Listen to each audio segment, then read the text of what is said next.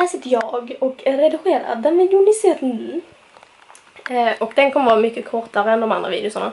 För att jag var på en del läkarbesök och eh, hade inte riktigt lust att filma på besöken. Och jag var inte riktigt på humör att filma när jag inte var på läkarbesök. Eh, de vet fortfarande inte riktigt vad det är för någonting.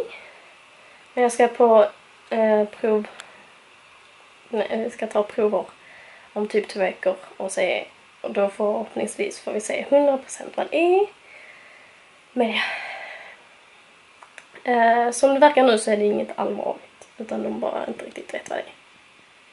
Så ja. Men det är därför den är lite kortare än de andra så att ni vet.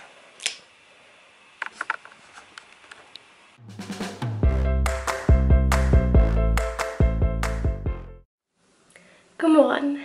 Nu ska vi åka till mormor.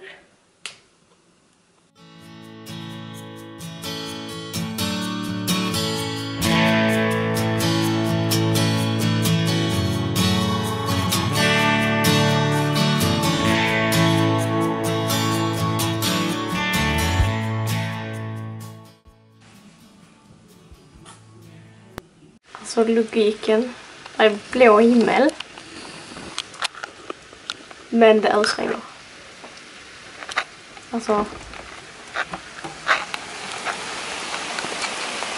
What? What? How? I do not understand.